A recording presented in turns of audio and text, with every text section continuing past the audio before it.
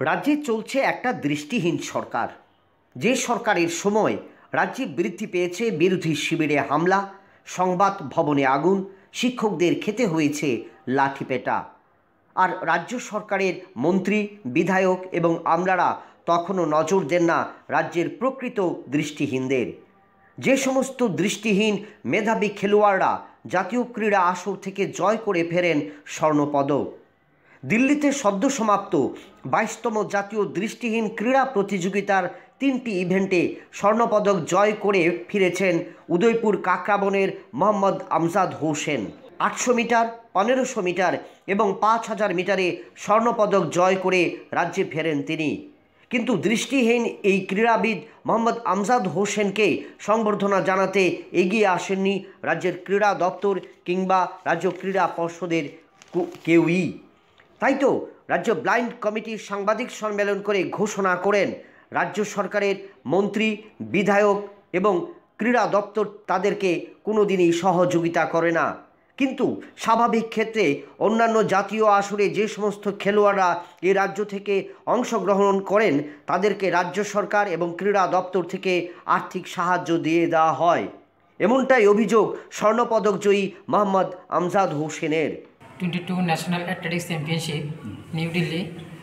এখানে আমি তিনটি ইভেন্টে পার্টিসিপেট করেছি তিনটি ইভেন্টে তিনটি gold eight hundred metre fifteen hundred metre এবং ফাইভ থাউজেন্ড মিটার তিনোটাতে আমি বেস্ট প্লেয়ার হিসাবে পার্সোনাল বেস্ট প্রাইজও পেয়েছি এবং তিনটি গোল্ডও পেয়েছি। আমাদেরকে কেউ সাহায্য টাহায্য করেন নিজের টাকা পয়সা খরচ করে এখানে গিয়েছি। তো যাদের কাছে সাহায্যের কাছে গিয়েছি তারা তো আমাদেরকে কোনো হেল্প করেনি। Youth affair and sports department যাকে বলা হয়, তাদের কাছে আমরা লেটার দিয়েছি, আমাদেরকে ওইখানে পাঠানোর জন্য, তারা আমাদেরকে পাঠায়নি। তারা বলছে, ওদের কাছে কোনো টাকা পয়সা নেই, কোনো ফান্ডিং নেই। আমরা সোশ্যাল ডিপার্টমেন্টে যাওয়ার জন্য বলেছে। তো সুপার সোশ্যাল ডিপার্টমেন্টের লোকে তো পোস্ট ডিপার্টমেন্টের কোনো কানেক্টেড নেই। তাহলে তো পোস্ট ডিপার্টমেন্টে এটা দেখব, কিন্তু তারা মানা করছে যে তাদের কাছে কোনো ফান্ডিং নেই। তো গভর্নমেন্টকে আমি বলব যে, যাদের উপরে দায়িত্ব দিয়েছে, তারা তো সঠিকভাবে তাদের দায়িত্ব পালন করছে না। আমরা ব্লাইন্ডের দিক থেকে যারা খেলতে যাই যে কোনো খেলাতে আপনারা সাহায্য করে না। কিন্তু জেনারেল দিক দিয়ে দেখা যাচ্ছে সবাইকে সাহায্য করছে। শুধু তাই নয় চাকুরির ক্ষেত্রেও বর্তমানে বিজেপি সরকারের আমলে এই দৃষ্টিহীনরা বঞ্চিত হয়েছেন। তাই মুখ্যমন্ত্রী এবং ক্রীড়ামন্ত্রীর দৃষ্টি আকর্ষণ করছেন তারা। গভর্নমেন্টকে বলব এখন যে বর্তমান পোস্ট মিনিস্টার পোস্ট মিনিস্টার এবং সিএম স্যারকে বলব তারা যাতে একটু আমাদের দিকে নিজের সন্তান হিসাবে যাতে একটু ভালো দৃষ্টিতে তাকায়, তাহলে আমরা আশাবাদী আগামী দিনে আরও ভালো সাফল্যমণ্ডিত করতে পারব।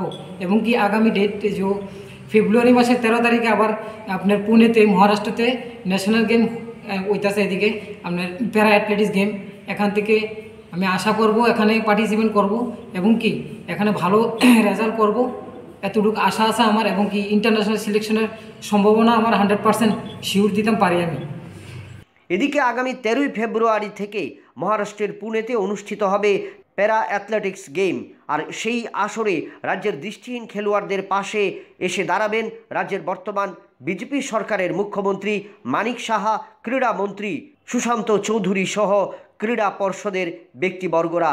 এমনটাই অভিমত তথ্যবিজ্ঞ মহলের। Bureau report, Akash Tripura.